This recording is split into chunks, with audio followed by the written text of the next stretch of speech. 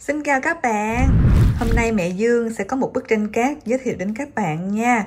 Đó là bức tranh gì các bạn biết không? À, đây là một bé gái nè.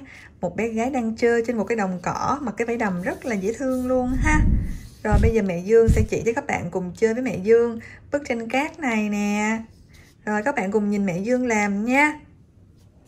Bây giờ mẹ Dương sẽ à, làm mái tóc cho bạn gái này trước mái tóc này mẹ Dương sẽ cho màu vàng nhé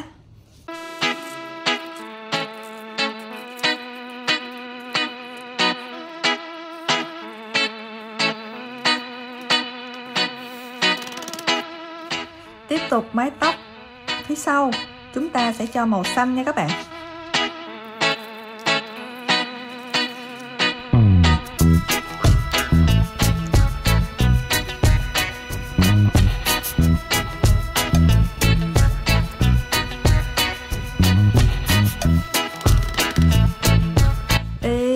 Còn thiếu. Các bạn biết mẹ Dương thiếu gì không?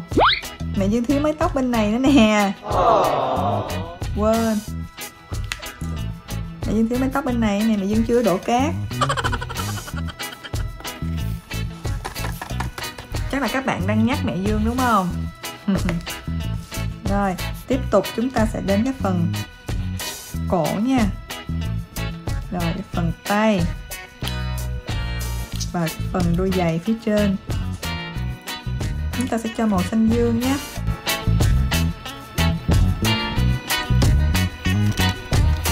Rồi, tiếp tục sẽ là cái đuôi giày nhé. Đuôi giày và cái bao tay này các bạn.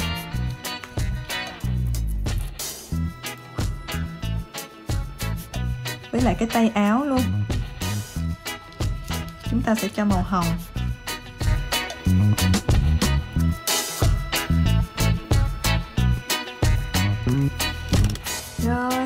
Màu hồng rất là dễ thương luôn. Tiếp tục sẽ là một cái đầm này nha. Wow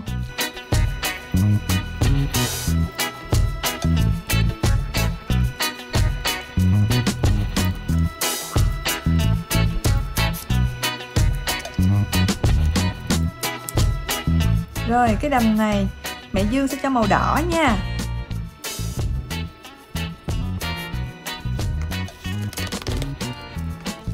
Rồi tiếp tục, chỗ này sẽ là cái màu da. Cái này là cái phần tay của bạn bé gái. Và đây là phần chân. Và cái mặt sẽ là màu da luôn.